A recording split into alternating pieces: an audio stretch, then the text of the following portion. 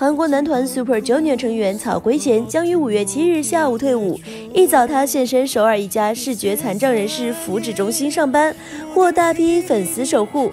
一身休闲装亮相，表情轻松。据悉，圭贤以 solo 歌手出道，不仅凝聚了多年来的演唱实力，更多的表达自己的人生感悟，用抒情曲的方式，将别样的秋日温情，透过富有磁性的嗓音，传达给每一个认真倾听的心灵。这样的温柔总是动人的。在综艺节目里，圭贤展现开朗的一面，活跃的表现让他留下了毒舌忙内的形象。